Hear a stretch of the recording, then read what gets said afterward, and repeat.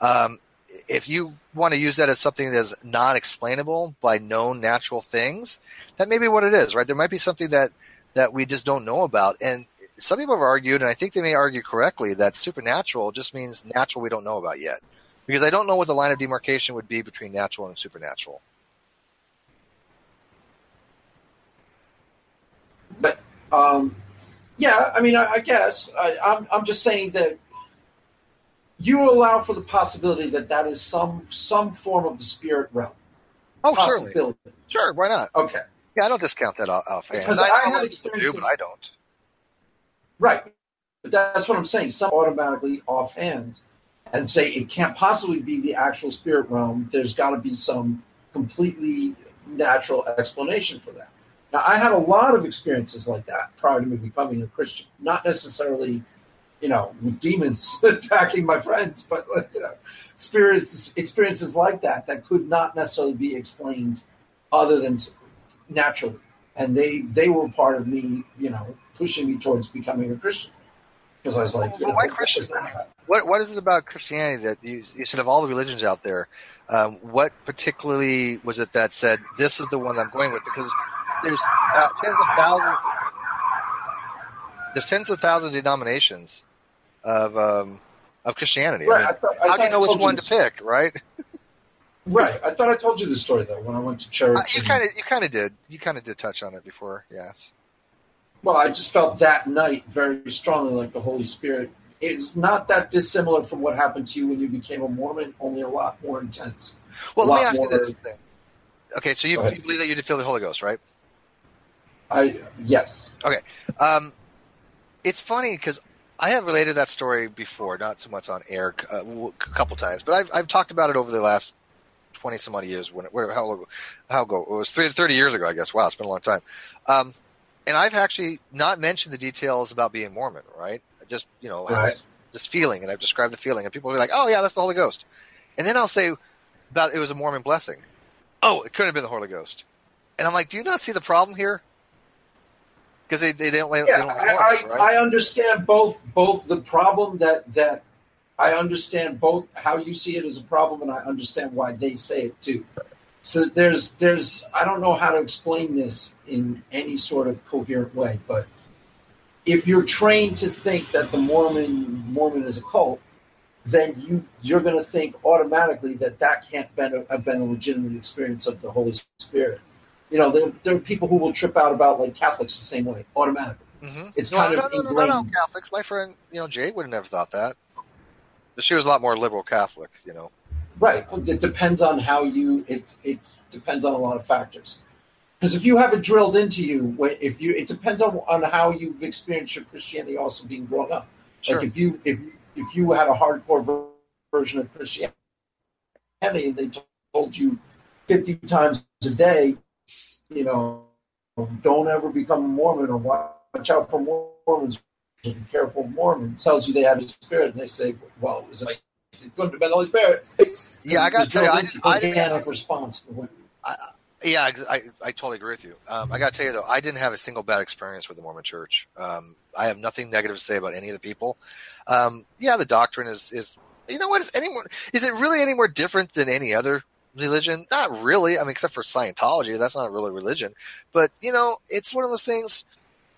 I, I, if you're gonna, if you're going to believe that a man walked on water and raised from the dead, then is, is it really hard then to believe that God has a body of flesh and bones that came from the planet? It's not that much of a leap of faith, but that's irrelevant to the point. Is that I really liked the people, and I had good experiences with the church. Um, nothing, nothing relating to, to cultism or anything like that.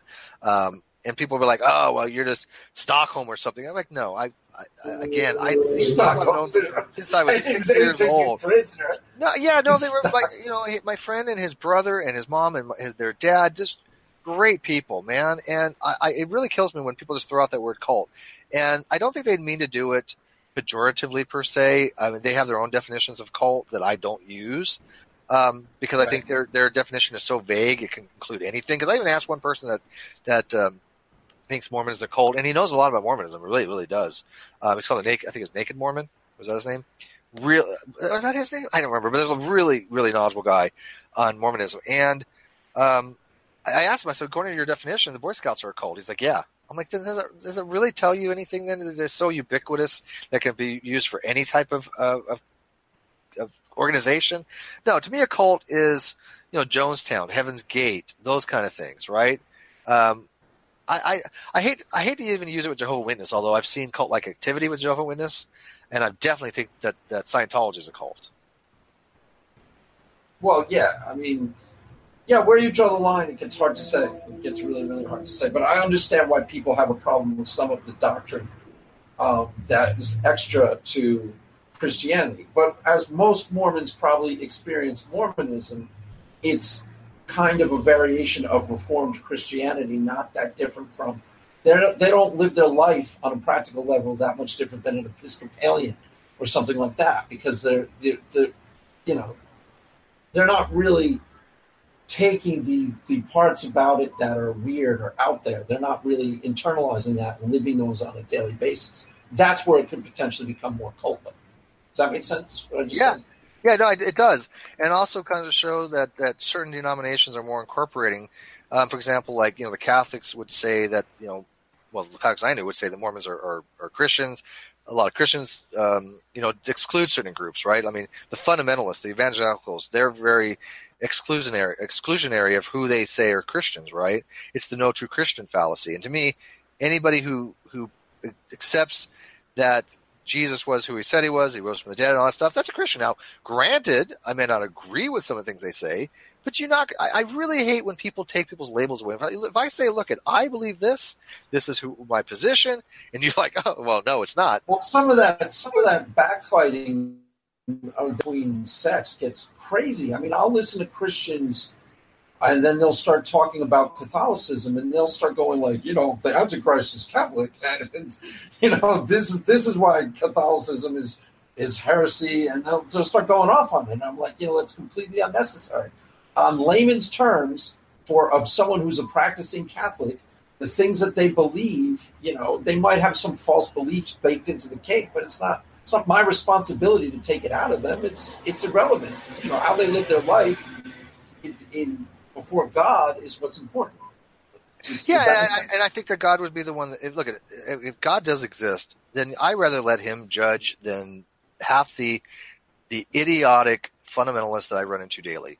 Because if right. that's the if that's the person out there that's trying to convince me that God exists, God's not doing a very good job because I'm not going to buy into what they have to sell. You know, I much when I was listening, like my friend Jade. Now, I'm not a fan of the, the, Catholic Church for obvious reasons, but I mean, I loved her to death and I respected her position. Um, but I would sit and listen to her for hours, off air, on air, didn't matter because we would have conversations. Never got embittered, never got embroiled. The only disagreement we ever had was over Trump. Um, and I'm not a fan of Trump, but uh, or I, I wasn't even over Trump because I mean we both realize it's shit, but uh, more of a Reagan more than anything else than Trump. Um, she was not a fan of Reagan. I happen to like Reagan, but um, she, I would still listen to her, right? Even though she was Catholic and I would never become Catholic, I still was engaging with conversation with her. And if you can't get engaged in conversation, you're never going to try to sway anybody. So if God wants somebody to convert somebody, having a conversation with them is the only way that's going to happen.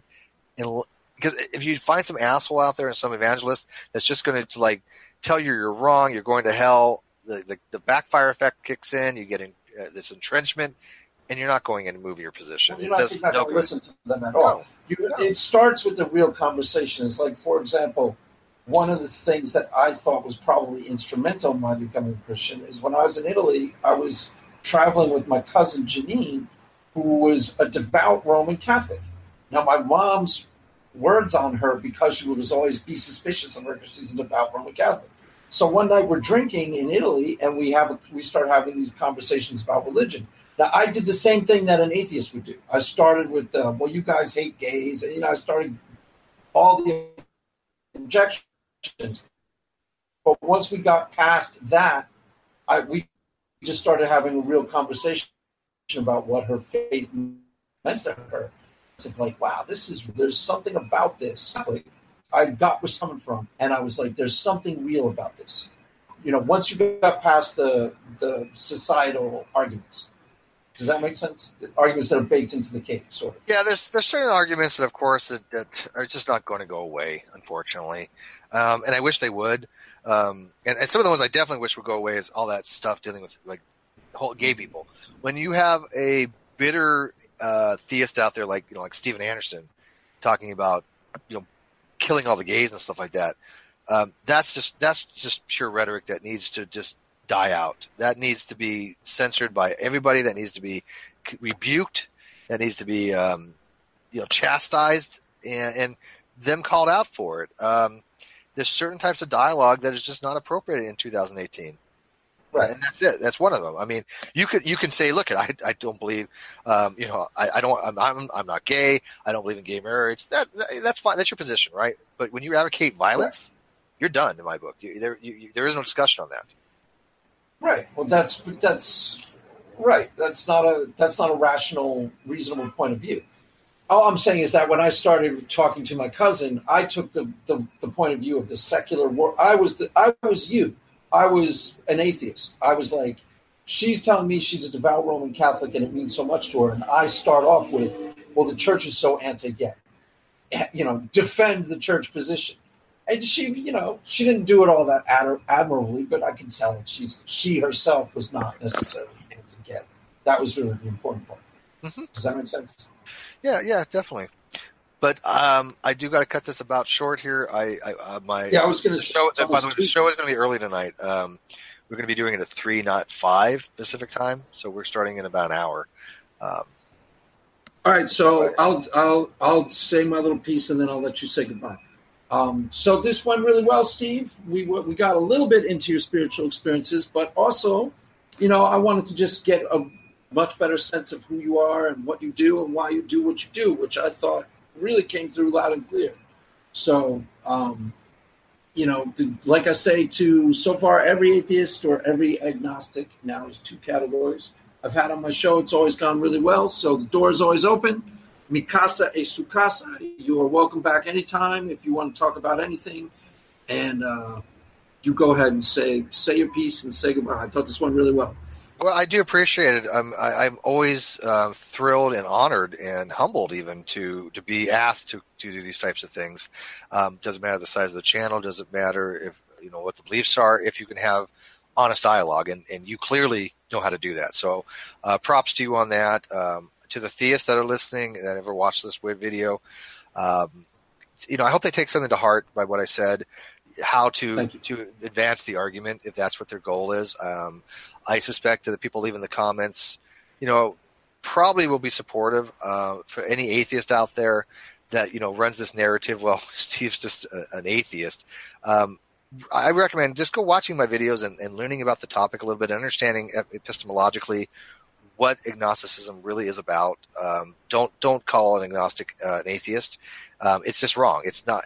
If, if, you want to promote the truth, right? It, it doesn't matter whether an atheist or theist. I think both positions want to think that they're promoting truth. But when you're promoting something that clearly is not the truth, and it's because of ideological positions. And we both know this happens. We know a lot of theists even do this, not in your guys' group, but in the you know the the young Earth creationists or the flat Earth group. It, it, I think they're just demonstrable liars. Um, don't don't don't be like that. Um, you know, if you want to know more about it, message me. If you want to know more about my musicians, you want to know more about the show that we do. Um, please, by all means, uh, message me. I'm happy to try to talk to anybody. Uh, just not while I'm doing the show because that's difficult. I get messages like like exactly like one minute before we go on air. I'm like, I don't really have time for this, you know. But anyways, thank you for having me on. Um, again, I do really appreciate it, um, and I'm happy to join you anytime you got a panel or anything time you want somebody just to kind of you know run. Yeah, man, run come on, yeah. school us about school us about whatever. School us on science or, or philosophy and uh, yeah, this was this was Thanks, awesome, buddy. Steve. Thank you for coming on. And thank you, live chat, Shane, Stickman, uh, Casimir, how to go, uh, Saigar, all you guys. Thanks for watching this. Peace, peace, people. Peace. And let me cut this, and we.